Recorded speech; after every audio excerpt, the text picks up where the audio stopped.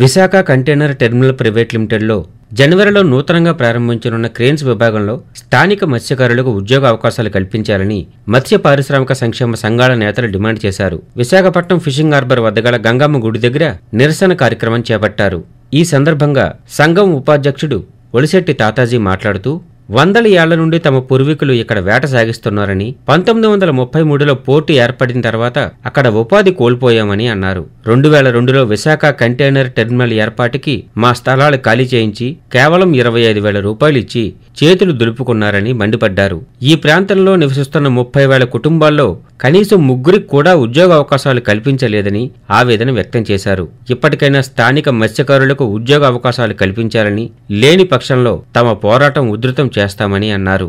ఎన్నిసార్లు అధికారులకు జిల్లా కలెక్టర్కు వినతిపత్రాలు సమర్పించినా ఎటువంటి స్పందన రాకపోవడం దుర్మార్గమని అన్నారు. ఈ సమావేశంలో గౌరవ అధ్యక్షుడు వాడమొదల పెంటయ్య జాయింట్ సెక్రటరీ పోతురాజు చింతపల్లి అయ్యప్పరాజు గణేష్ తదితరులు పాల్గొన్నారు.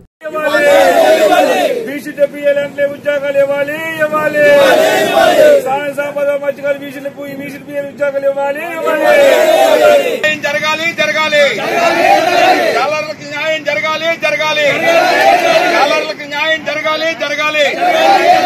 విసిటిపిఎల్ యాజమాన్యంతో మాట్లాడడానికి ఆల్రెడీ మేము మెమరాన్ ఇచ్చామండి. ఆల్రెడీ అన్ని డిపార్ట్మెంట్లు కూడా మేము బోర్డ్ టెస్ట్ కానీ విసిడిపిఎల్ కానీ కలెక్టర్ గారు కానీ కమిషనర్ కానీ అందరు పోలీస్ డిపార్ట్మెంట్ కూడా అందరూ కూడా మెమరాన్ ఇచ్చాం.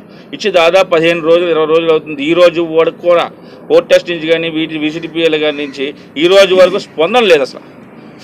స్పందన లేదు కానీ మమ్మల్ని ఎవరు పట్టించుకుని నాదు లేదు. అలాగే ఎంఎన్ రావు గారు అందులో మేనేజ్మెంట్ చేస్తున్న ఎంఎన్ రావు గారు ఫోన్ చేస్తే నిన్నే ఫోన్ చేసి మాట్లాడి కలిస్తే ఏమన్నారంటే తొమ్మిది నెలలు ఓపెన్ అవుతుంది అంటున్నారు. కానీ ఇది ఒకటో తారీఖు జనవరి ఫస్ట్ క్రెయిన్లు ఓపెన్ అవుతున్నాయి. దయించి ఒకటి చెప్తున్నాను సార్ తాతల మొత్తాల దగ్గర నుంచి ఎంత మోసం చేశారని మీకు తెలుసు మాకు తెలుసు ఎంత మోసపోయామనేది. కానీ మోసపోయే రోజులు కాదండి. బతికే రోజులు వచ్చే దయించి బతుకు చూపిస్తే మీకు మంచిది మాకు మంచిది అని చెప్తున్నా విసిడిపిఎల్ కన్నా పోర్ట్ టెస్ట్ వాళ్ళకైనా లేదంటే ఈ ఉద్యమం ఎంత దూరం వెళ్తుంది అనేది అది భగవంతుడు తెలుసు. ఈ రోజు వరకు కూడా అక్కడ లాస్ అయిపోయింది జీవనోపాధి కోల్పోయింది మేము. ఈరోజు రోజు రింగు వాళ్ళ కోసం మీకు తెలిసిన విషయమే. దాదాపు సంవత్సరం పోరాటం చేస్తేనే కానీ ఈ రోజు ఒక కొడుకు రాలేదు. ఆ విషయం మీ మీడియా సోదరులందరూ తెలుసు.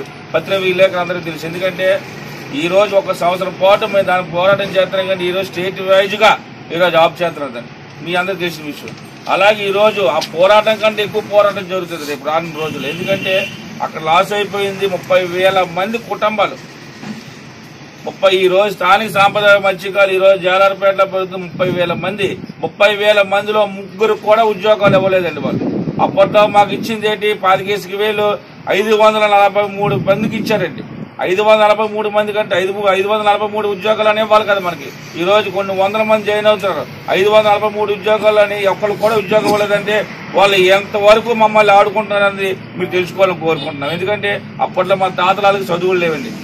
చదువుకోలేదు వాళ్ళకి. మంచిదనం అని తెలిసి తప్ప అన్యాయం తెలియదు. ఒకరు కూడి పెట్టడం తప్ప కూడి నాకున్న రోజులు అయితే కాదు అది ఈ రోజు అలా కాదండి. వాళ్ళు మంచిదనం తీసుకునే రోజు మాకు ముందు కడుపులో కూడి కూడా లాగేసుకున్నారు వాళ్ళు.